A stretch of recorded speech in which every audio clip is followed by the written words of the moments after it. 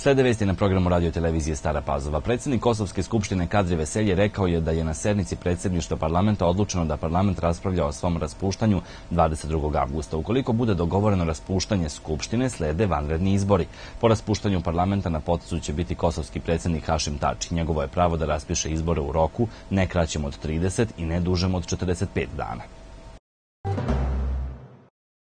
Ministar za rad, zapošljavanje, boračka i socijalna pitanja u vladi Republike Srbije Zoran Đorđević izrazio je danas očekivanje da bi predlog strategije o migracijama mogao da bude upućen vladi u januaru naredne godine. Đorđević je nakon sastanka sa stranim studentima iz organizacije srpskih studenta u inostranstvo istakao da će ukoliko taj dokument bude prihvaćen do avgusta biti izrađen i akcioni plan koji će pratiti strategiju. On je podsjetio na to da je koordinacioni tim za praćenje ekonomskih migracija formiran u januar ove godine i da ga čine najstručniji najstručniji ljudi koji se bave ovom tematikom.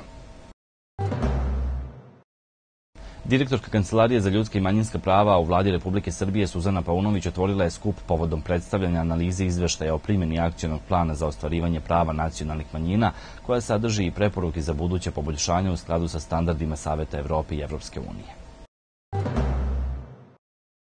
Oko 600.000 građana Srbije imaće pravo na besplatnu pravnu pomoć koju će od 1. oktobra moći da pruže isključivo advokature i službe pravne pomoći u lokalnim samoupravama, dok će nevladine organizacije tu vrstu usluge moći da pruže u postupcima ostvarivanja prava na azil i zaštite od diskriminacije. Opština Stara Pazova raspisala je javnu nabavku za izgradnju kanalizacije upotrebljenih voda sa kućnim priključicima u ulici Vojvođanska i Polski put u Novoj Pazovi. Procenjena vrednost javne nabavke iznosi oko 30 miliona dinara, a polovinom septembra biće poznato ko će biti izvođač radova. Za refundiranje troškova prevoza srednjoškolaca i studenta sa teritorije opštine Stara Pazova u predstojećoj školskoj godini obezbeđeno je 28 miliona dinara iz budžeta lokalne samouprave. Ovim programom obuhvaćeno je preko 1670 školaraca koji se školuju u jednoj od tri srednje škole u opštini, obdržnim školama i fakultetima. Ovo vrstu usluge realizovaće saobraćeno preduzeće Lasta. Odbojkašice Srbije izborile su plasman na olimpijske igre u Tokiju, pošto su sinoć u odlučujućem meču kvalifikacijonog turnira u Vroclavu savladale domaćina Poljsku sa 3-1 u setovima 21-25, 25-23, 25-16 i 25-23.